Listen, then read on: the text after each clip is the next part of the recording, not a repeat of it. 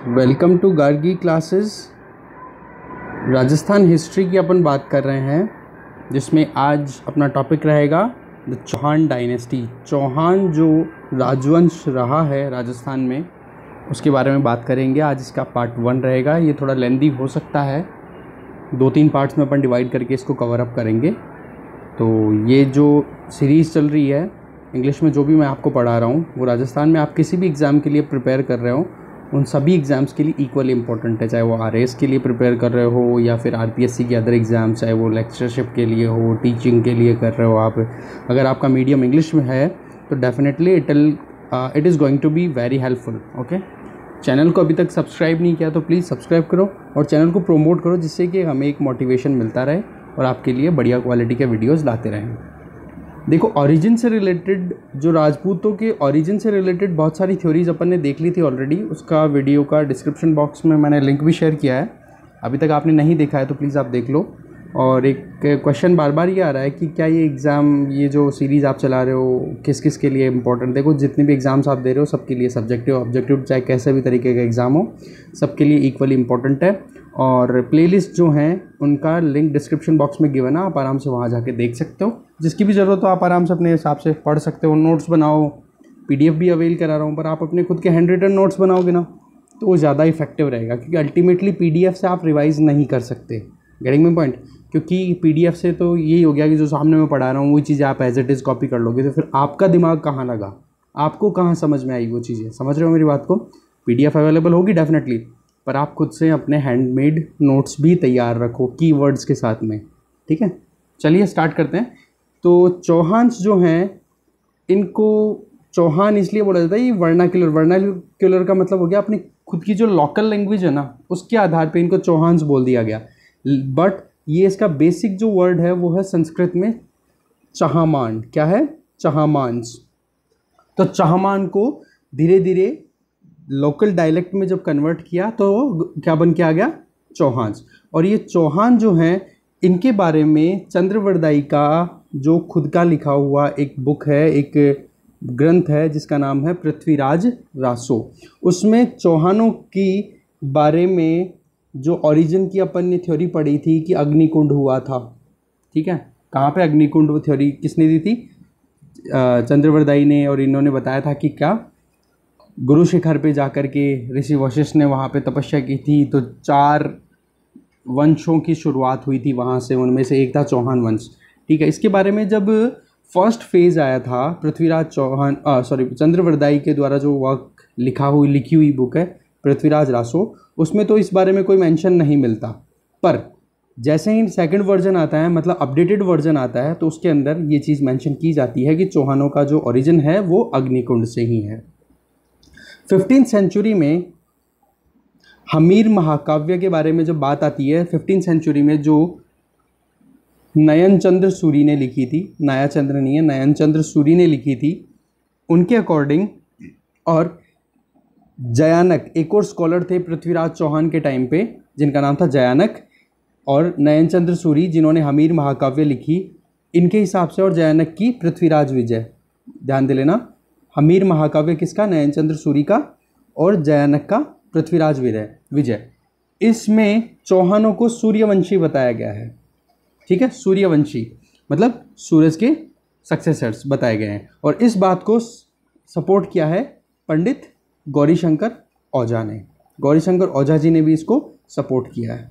सूर्यवंशी वाली थ्योरी को। अग्निकुंड वाली थ्योरी को पृथ्वीराज रासो की पृथ्वीराज रासो जो चंद्रबाई ने लिखी चंद्रवरदाई ने लिखी वो सपोर्ट करती है। बिजोलिया का जो इंस्क्रिप्शन है, बिजोलिया का जो शिलालेख है, जो 1170 में लिखा गया था, वो और साथ में डॉक्टर दशरथ शर्मा, इनके अकॉर्डिंग देखा जाए तो चौहान जो थे, इनका ओरिजिन अगर देखा जाए तो ओरिजिन माना गया कहाँ से? अहिल अहि छत्रपुर अहि छत्रपुर जो आज के टाइम का नागौर है, उसको अहि छत्रपुर बोला जाता है। और ये जांगल प्रदेश जांगल प्रदेश की कैपिटल थी उस टाइम पे। ठीक है? तो ये चीज़ मैं फिर से रिपीट कर रहा हूँ कि बिजोलिया इंस्क्रिप्शन के अकॉर्डिंग देखा जाए तो चौहानों का जो ओरिजिन था, चौहान जो थे, वो चौहानों का एक तरीके से जो रूल था, वो शुरू हुआ था अहि छत्रपुर। ये उस टाइम पर जांगल प्रदेश, ये रीजनल नेम्स मैं रिपीटेडली बता रहा हूँ। जांगल प्रदेश और ये मारवाड़, मेवाड़, इनके बारे में मैं ऑलरेडी जोग्राफी में वीडियो बना चुका हूँ। उसका भी लिंक मैं शेयर कर रहा हूँ डिस्क्रिप्शन बॉक्स में, ज़रूर देख लेना आप उसको। तो जांगल प्रदेश कौन सा रीजन था, ये आपको आइडिया लग जाएगा। तो जांगल प्रदेश वाला जो रीजन था, उसकी कैपिटल थी अही छत्रपुर वहाँ पर से इनका शुरुआत हुई और इनका गोत्र क्या था? वत्स गोत्र, सेज वत्स, ठीक है? संत वत्स के ये सक्सेसर्स हैं और अही छत्रपुर का अभी लेटेस्ट नाम क्या चल रहा है? नागौर। फिर आगे देखें चौहानों के बारे में तो इनका शुरुआत जो हुई वो अही छत्रपुर से हुई, ये अपन ने ऑलरेडी देख लिया वन सेकेंड ये अपन ने ऑलरेडी देख लिया। अही छत्रपुर से इनकी शुरुआत हुई और धीरे धीरे इनकी टेरिटोरियल जब एक्सपेंशन हुआ, इनका किंगडम जब बढ़ा जैसे जैसे आगे आने वाले अपन किंग्स के बारे में देखेंगे कौन कौन से रूलर्स हुए। उन्होंने अपना टेरिटोरियल एक्सपेंशन जब करना शुरू किया तो अल्टीमेटली जो चौहानों का जिस पर्टिकुलर रीजन में या फिर जो चौहानों के अंडर में आने वाला पूरा रीजन था, उसको बोल दिया गया सपाद लक्ष्य क्या बोल दिया गया? सपाद लक्ष्य ये अपने को ध्यान रखना है। जो भी चौहानों की डायनेस्टी है, उन, उस डायनेस्टी को अगर चौहानों राजस्थान के या फिर इंडिया के जो चौहान हुए हैं, राजपूत क्लेन के, उसमें चौहानों की जो मेजर डायनेस्टीज़ हुई हैं, वो रही हैं एक तो चौहान्स ऑफ़ साकम्बरी जिसमें पृथ्वीराज चौहान का नाम आता है। चौहान्स ऑफ़ रणथम्बोर जिसमें हमीर देव का नाम आता है। चौहान्स ऑफ़ जालोर, इनके बारे में भी देखेंगे अपन। और इनके अलावा हाड़ोती के जो चौहान थे, हाडाज। ठीक है? हाडाज भी लिखा मिलेगा और हाराज भी लिखा हुआ मिल जाएगा तो कंफ्यूज मत होना। तो ये मेजर क्लेन या मेजर ब्रांचेज रहीं चौहानों की राजस्थान में। और इसके अलावा और कौन कौन सी ब्रांचेज थी अपन यहाँ पे देख सकते हैं। देखो, चौहान जो थे, इनका ओरिजिन कहाँ से? सपादलक्स वाले, सांभर वाले रीजन से अही छत्रपुर नागौर जो इनकी कैपिटल हुआ करती थी तो उसकी दो ब्रांचेज निकली। एक तो अजमेर ब्रांच निकली, एक नाडोल ब्रांच निकली। नाडोल कहाँ पर है? पाली में। ठीक है? अजमेर ब्रांच जो है, अजमेर ब्रांच की ही फिर जो सीक्वेंस में आगे निकल के बनती है चौहान ऑफ़ रणथम्बोर रणथम्बोर ऑफ़ चौहान मतलब चौहान्स ऑफ़ रणथम्बोर के बारे में नेक्स्ट वीडियो में आएगा आपके पास में। तो चौहान्स ऑफ़ नाडोल जो थे, इसकी तीन ब्रांचें निकली, जालोर में, सिवाना में और बूंदी में। बूंदी वाली जो ब्रांच थी, उसी का एक और एक्सटेंशन निकला कोटा में। तो ये तो हाडाज हो गए। ठीक है, सिवाना वाले यहीं पे ख़त्म हो गए। और जो जालोर वाला था, जालोर वालों की एक ब्रांच और निकली, वो पहुँची सिरोही में। तो ये टोटल अपन ब्रांचिंग देख सकते हैं चौहानों की राजस्थान में। जिनमें मेजर की बात करें तो उनमें सबसे पहला आता है चौहान्स ऑफ़ साकम्बरी चौहान्स ऑफ़ साकम्बरी की अगर अपन बात करें तो यहाँ से चौहानों की ये जो रूलिंग्स कैपेसिटी थी, या इनका एक तरीके से शुरुआत बोली जा सकती है। तो सबसे पहला जो पर्सन था eminent personality of Chauhan dynasty was Vasudev इन्होंने सिक्स सेंचुरी में चौहान डायनेस्टी को स्टैब्लिश किया था। इनको founder of Shakambhari branch of Chauhans के बारे में से भी नाम से भी जाना जाता है। और इन्होंने स्टैब्लिश कब किया था? 551 सीई e, या फिर एडी भी लिखा हुआ मिल सकता है कॉमन एरा एडी ठीक है? एक माइथोलॉजिकल स्टोरी आती है जिसके अकॉर्डिंग ये बताया जाता है कि वसुदेव जो हैं इन्होंने सांभर लेक को बनाया ठीक है? अब सांभर लेक बनी कैसे? उसकी एक माइथोलॉजिकल स्टोरी है, वो ये कि पृथ्वीराज विजय, जैनक की है, जैनक कौन है? पृथ्वीराज चौहान के मतलब कोर्ट पोइट थे कोर्ट स्कॉलर थे, उस, उनके मतलब पूरे कोर्ट में बैठते थे वो। तो उन्होंने ये बुक लिखी, पृथ्वीराज विजय तो उसके अकॉर्डिंग उस बुक के अकॉर्डिंग एक माइथोलॉजिकल स्टोरी निकलती है। वो ये बताती है कि जो सांभर झील है, वो वसुदेव को एक सुपर नेचुरल पावर ने दी, जिसका नाम था विद्याधर ठीक है? कहने का मतलब कोई ऊपर से देव उतरा और उन्होंने ये सांभर लेक बना करके दी वसुदेव को कि आप इस लेक के आसपास में अपने अंपायर को बढ़ा सकते हो, लोगों की यहाँ पर वेलफेयर इंश्योर कर सकते हो। तो पृथ्वीराज विजय के अकॉर्डिंग ये बात बोली जाती है। फिर वसुदेव के बाद में और भी बहुत सारे रूलर्स आए, जिनके नाम अगर अपन देखें तो जयकाज हो गया, विग्रहराज फ़र्स्ट चंद्रराज फ़र्स्ट गोपचंद्र राज ये आए अगर इम्पोर्टेंट नोट की बात की जाए तो जीण माता सीकर डिस्ट्रिक्ट में अगर आप एन एच ग्यारह से जो कि एन अभी एन एच के नंबर चेंज हो चुके हैं, अगर आप सीकर की तरफ़ जाओगे तो बीच में गोरियाँ करके एक गाँव आता है। ठीक है? तो गोरिया से आप रेवासा साइड में जब कट लोगे तो उस तरफ़ आता है जीन माता तो ये चौहानों की फेवरेट डेटी मतलब कुल देवी रही हैं। ठीक है, चौहानों की गुल देवी, कुल देवी का नाम आए चौहानों की। तब तो बात आएगी जीन माता।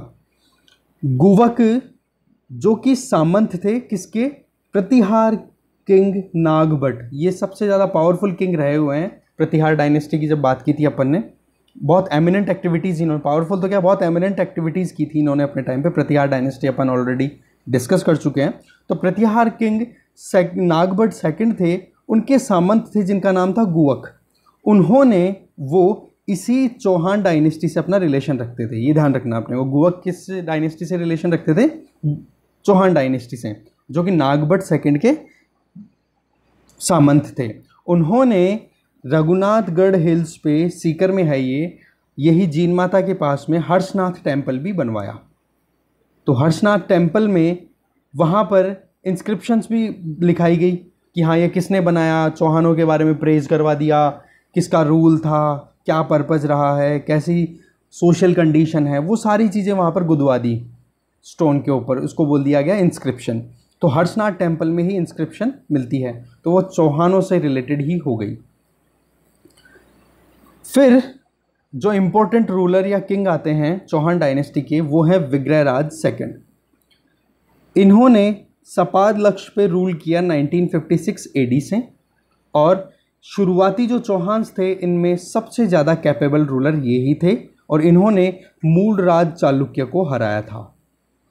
साथ में इन्होंने आशापुरा माता टेंपल का भी स्टैब्लिशमेंट कराया, कहाँ पर? बड़ोच करके जगह है, वहाँ पर आशा माता, आशापुरा माता टेंपल और ये इनकी फैमिली की फेवर्ड डेटी थी। जिन माता तो चौहानों की थी और पर्टिकुलर अगर इनकी फैमिली की बात की जाए तो विग्रहराज सेकंड ने अपनी फैमिली की जो माता बनाई मतलब एक तरीके से जिनको अपनी आ, बोल सकते हैं कि हाँ हमारे परिवार की माता हमारे परिवार का देव तो वो बनाया गया वो माता थी आशापुरा माता और ये टेंपल बनवाया गया था विग्रहराज सेकंड के द्वारा।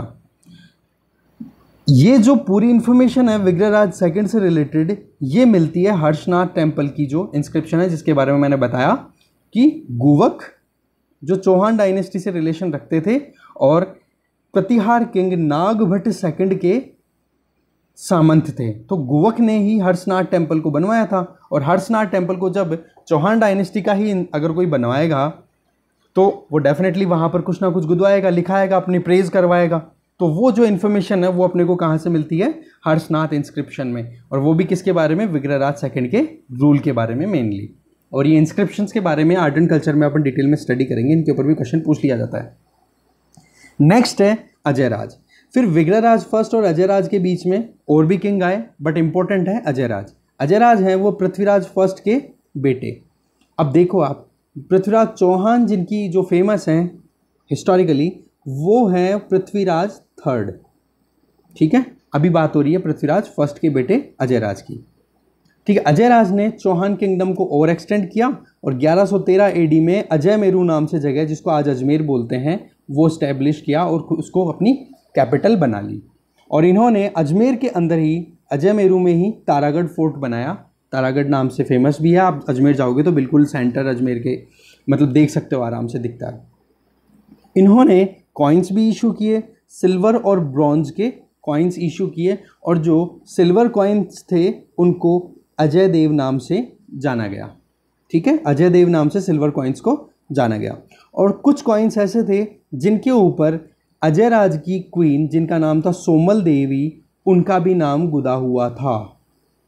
ठीक है? कुछ कॉइन्स ऐसे भी थे, जहाँ पर इनकी वाइफ इनकी क्वीन सोमल देवी, उनका नाम भी गुदा हुआ था। इन्होंने अपनी वाइफ क्वीन सोमल देवी के नाम पे एक विलेज भी इस्टेब्लिश किया, जिसका नाम रखा सोमलपुर। ये खुद तो शैव रिलीजन को फॉलो करते थे। मतलब शैव धर्म जिसमें शिव जी के बारे में पूरी पूजा होती है, उसको फॉलो करते थे। बट ये थॉट से सेक्युलर थे। सेक्युलर होने का क्या एक एविडेंस मिलता है कि इन्होंने गोल्ड डोनेट किया था जैन टेंपल पार्श्वनाथ जी के टेंपल को।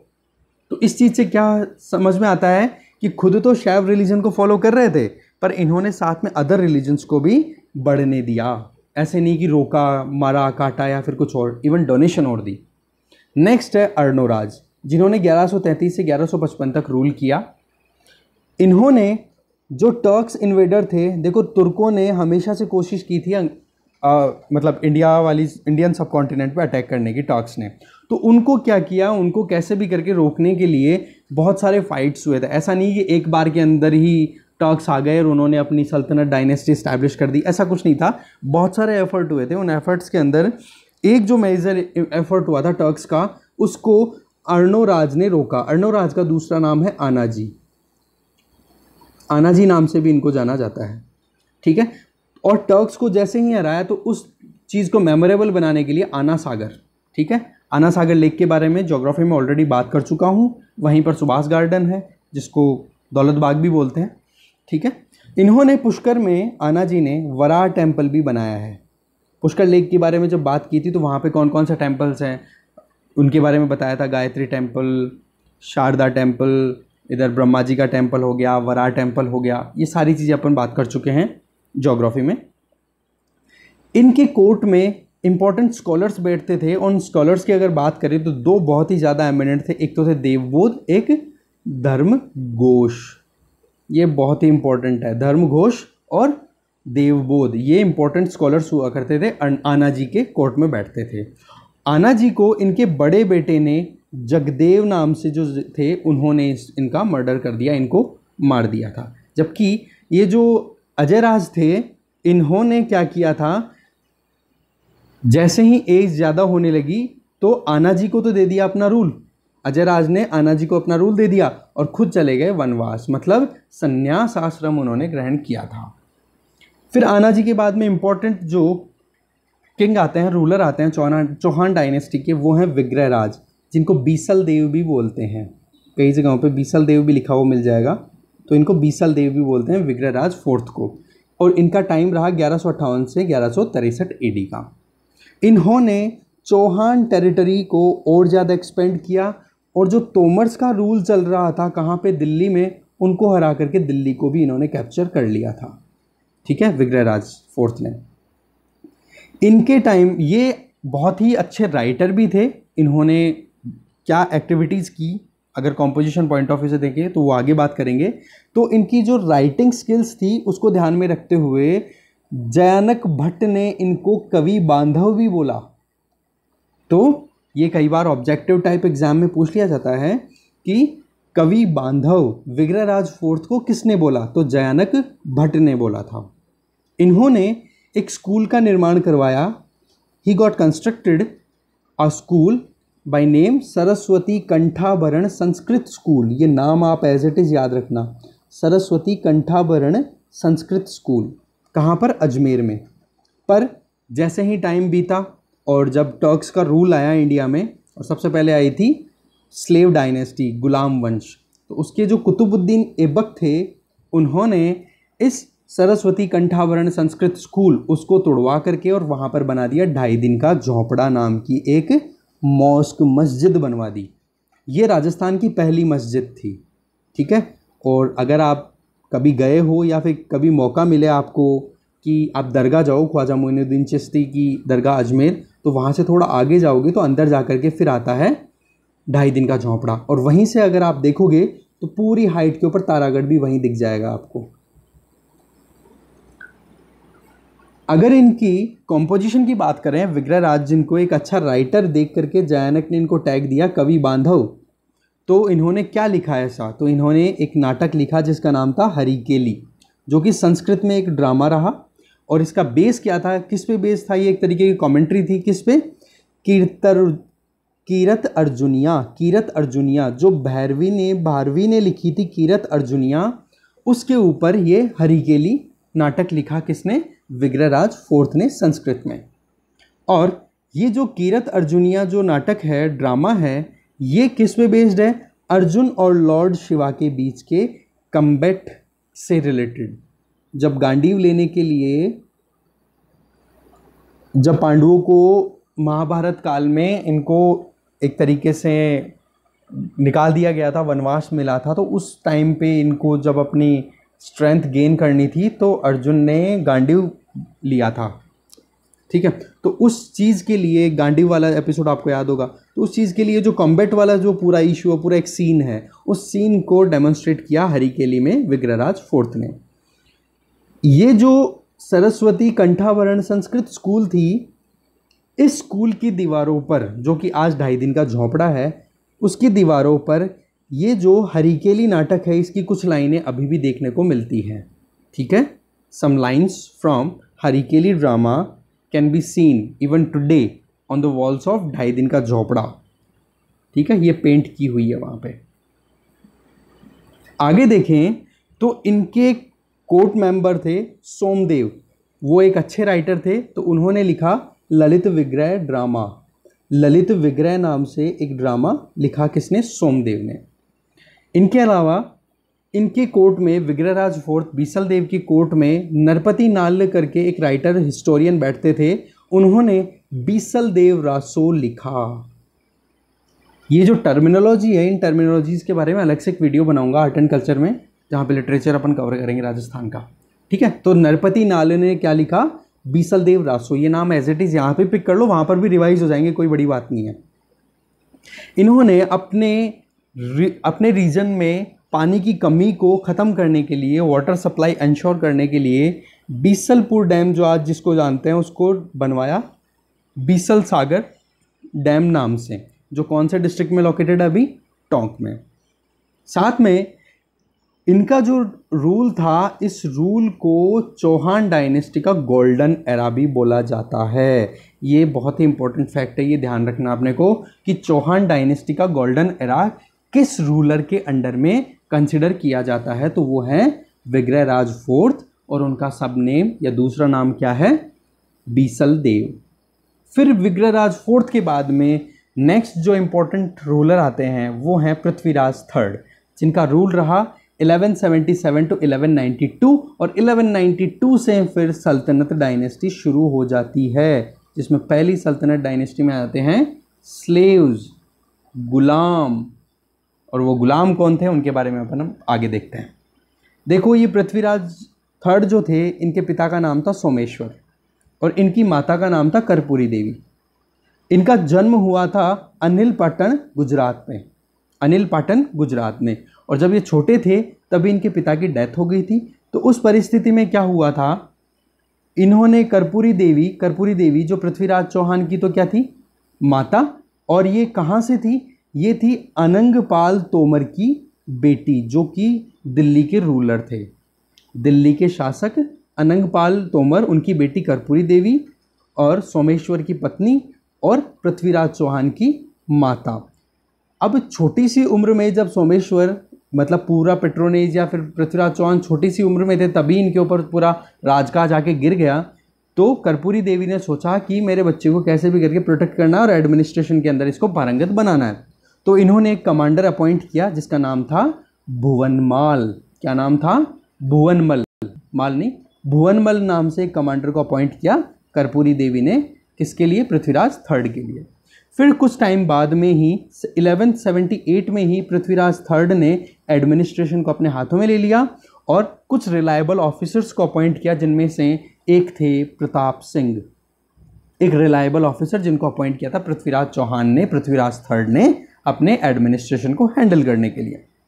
जैसे जैसे टाइम बीता तो पृथ्वीराज चौहान ने एक डिसा, एक डिसीज़न लिया कि मुझे आसपास के सारे जो भी डायनेस्टीज हैं या फिर जो भी रूलर्स हैं, इनको हरा करके और उनकी ज़मीन या फिर जो कुछ भी है उनको मेरे अंपायर में मुझे ज्वाइन करना और बड़ा बनना है। तो इन्होंने एक मिशन लॉन्च किया दैट वाज ने दैट हैज़ ने that had name Digvijay. Digvijay नाम का एक मिशन इन्होंने स्टार्ट किया। जिसका टारगेट था कि आसपास के जितने भी रूलर्स हैं, उनको हराओ और उनके राज्य को हड़पो या फिर उनको कहो कि आप मेरे अंडर में काम करो। तो इस चक्कर में 1182 और 1184 एडी के तक इन्होंने नागार्जुन, बंडनायक, इनको क्रश किया, बहुत बुरे तरीके से हराया और साथ में परमर्दी देव, जो कि माहूबा के चंदेल डायनेस्टी के थे, उनके साथ भी इनकी लड़ाई हुई और उस लड़ाई के अंदर आला उदल ने परमर्दी देव की तरफ़ से लड़ाई की पृथ्वीराज चौहान के अगेंस्ट में। मैं फिर से बोल रहा हूँ 1182-84 तक इन्होंने दिग्विजय जो मिशन चलाया था उस दिग्विजय मिशन में 84 के टाइम पे नागार्जुन बंडनायक जैसे ना, बड़े बड़े शासकों को भी हराया और साथ में इन्होंने मा, माहोबा के चंदेल शासक परमर्दी देव से भी लड़ाई की और उस लड़ाई में आला उदल नाम का एक पेयर था, ब्रेव थे ये। किसके रिप्रेजेंटेटिव परमर्दी देव। और इन्होंने बहुत शानदार चैलेंज दिया था पृथ्वीराज थर्ड को। कहते हैं बहुत ज़्यादा नुकसान किया था और आज भी माहोबा वाले रीजन में इनकी पूजा होती है। स्टोरियाँ बहुत सारी हैं स्टोरीज बहुत सारी हैं, ये भी बताते हैं कि माहोबा में आला उदल के लिए स्पेसिफिक चौक मतलब एक बड़ा एरिया अलोकेटेड है जिस पे घोड़े पे बैठे हुए हैं। तो वहाँ पर अगर कोई बारात भी निकलती है तो दूल्हा घोड़े से नीचे उतर जाता है या फिर घोड़े पे बैठ के नहीं जाता, क्योंकि इनकी डिसरेस्पेक्ट हो जाएगी नहीं तो। इतने ब्रेव थे, इनका बहुत ज़्यादा नाम चलता है आज भी पृथ्वीराज चौहान का ये जो दिग्विजय वाला जो पूरा मिशन चला, इसमें इन्होंने बहुत सारी फाइट्स लड़ी तो इसलिए इनको अलग अलग टाइटल्स भी मिले, और टाइटल क्या क्या थे? दल पंगुल, विश्व विजेता, Rai Pithora these are very important titles आप इनको नोट डाउन कर लो रिमेंबर कर लो रिवाइज करना बार बार क्योंकि ये चीज़ पूछी जाती है कि दल पंगुल विश्व विजेता और राय पिथोरा, ये टाइटल किस किंग ने लिए थे? तो वो कौन थे? पृथ्वीराज थर्ड, पृथ्वीराज चौहान जिनको बोला जाता है। अब कुछ इंपॉर्टेंट बैटल्स जो पृथ्वीराज चौहान के टाइम पे लड़े गए, उनमें तो था, एक तो कन्नौज पे अटैक करना। इसके बारे में अपन ने जब प्रतिहार राठौड़ के बारे में जब बात की थी, प्रतिहारों के टाइम पे भी कन्नौज का नाम आता है ट्राईपार्टाइट स्ट्रगल फिर उसके बाद में अपन ने राठौड़ ऑफ़ जोधपुर मारवाड़ वाले शुरू किए थे तो वहाँ पर भी जयचंद का नाम आता है कि इसी के सक्सेसर हैं ये पूरे के पूरे राठौड़ जो हैं। ठीक है? तो कन्नौज के बारे में आप थोड़ा बहुत तो फेमिलियर प्रीवियस लेक्चर से हो चुके होंगे। अब देखो, जब कन्नौज पे गढ़वाल किंग जयचंद का रूल चल रहा था तो पृथ्वीराज का तो वही टारगेट दिग्विजय, इस पर भी अटैक कर दिया तो इनकी दुश्मनी हो गई। और दुश्मनी का काम चल ही नहीं रहा, चल ही रहा था कि पृथ्वीराज चौहान इस जयचंद की बेटी संयोगिता के स्वयंवर में पहुँच गया और संयोगिता को उठा के ले आया और ला करके फिर इसने शादी कर ली खुद से। तो इस चक्कर में जयचंद और ज़्यादा चिढ़ गया।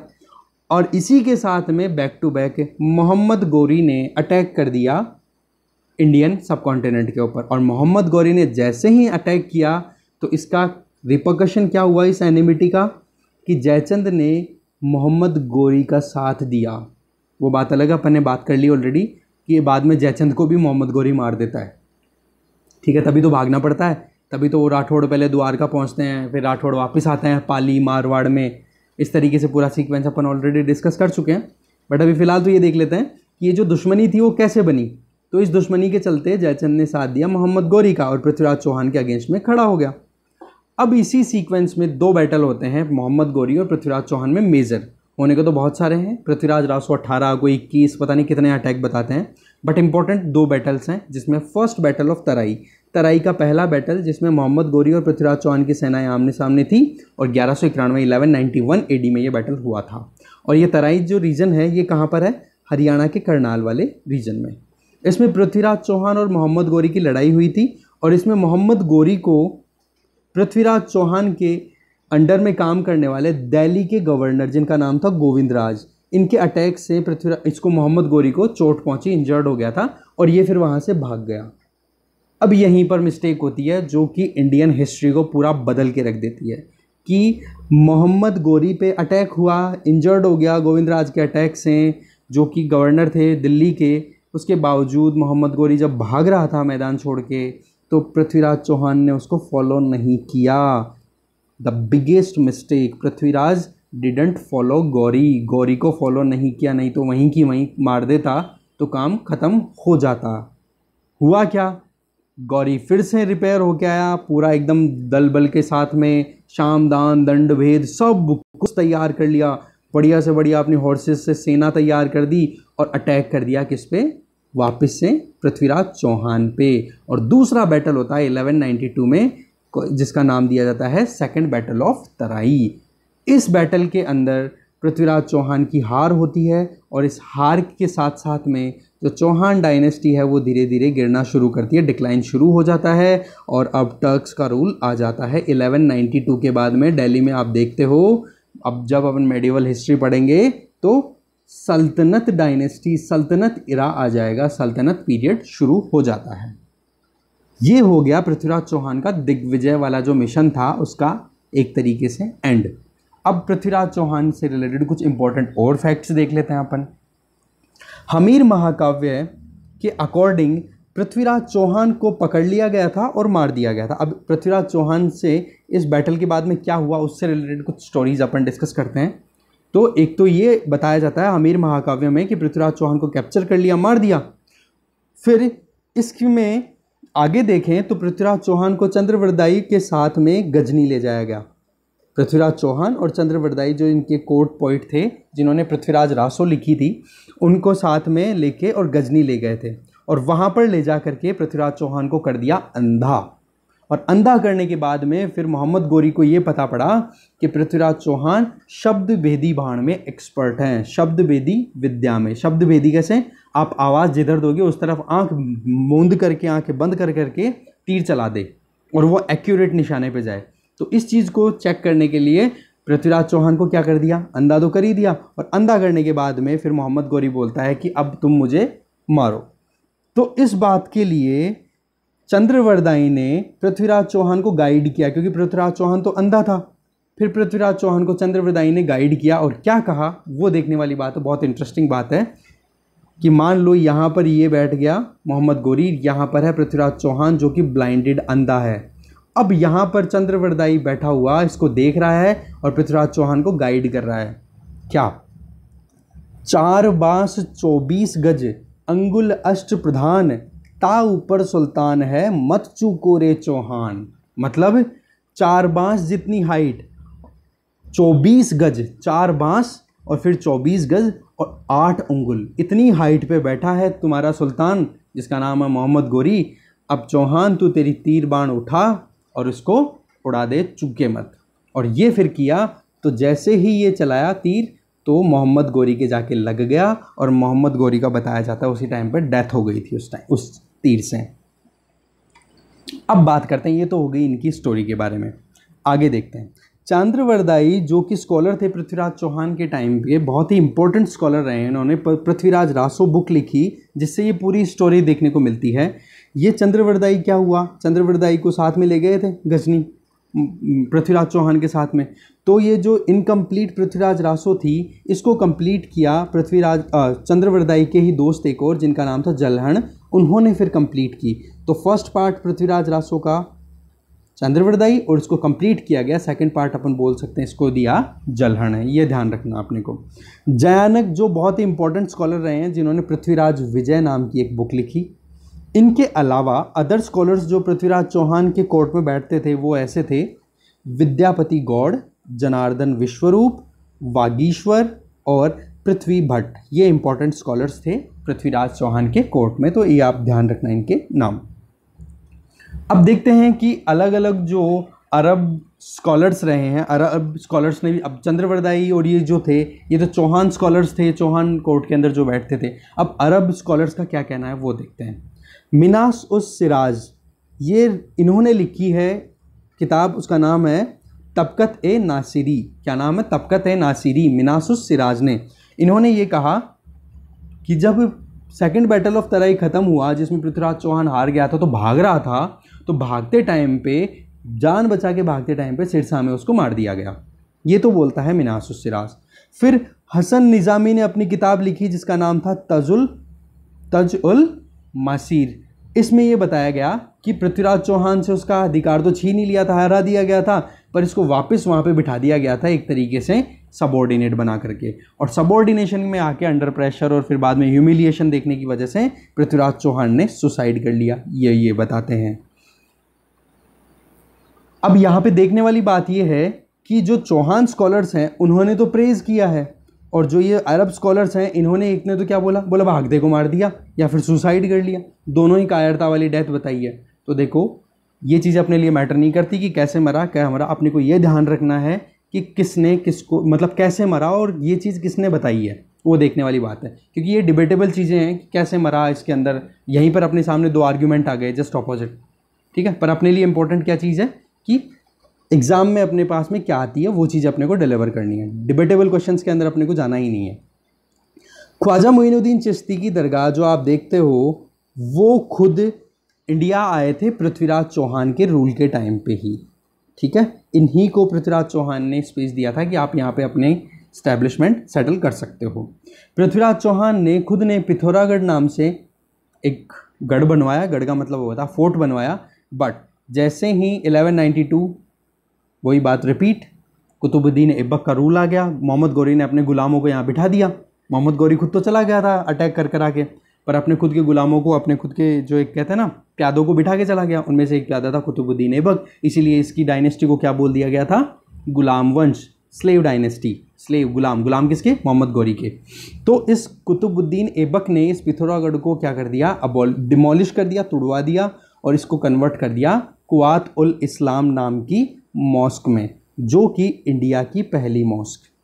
तो ढाई दिन का झोपड़ा, ध्यान रखो इसको, ढाई दिन का झोपड़ा, ये तो है राजस्थान की फ़र्स्ट मॉस्क और कुआतुल इस्लाम क्या है, इंडिया की फ़र्स्ट मॉस्क और दोनों चीज़ें चौहान डायनेस्टी के किंग्स द्वारा बनाई गई, कोई ना कोई स्टैब्लिशमेंट को डिमोलिश करके फिर बनवाई गई मॉस्क हैं। ठीक है? तो इस तरीके से यहीं पर आज अपना कवर होता है साकम्बरी के चौहानों की अजमेर वाली ब्रांच। ठीक है? अब नेक्स्ट अपन बात करेंगे रणथंबोर के चौहान, हाड़ोती के चौहान। इनके बारे में नेक्स्ट वीडियो में आपसे बात करूँगा मैं।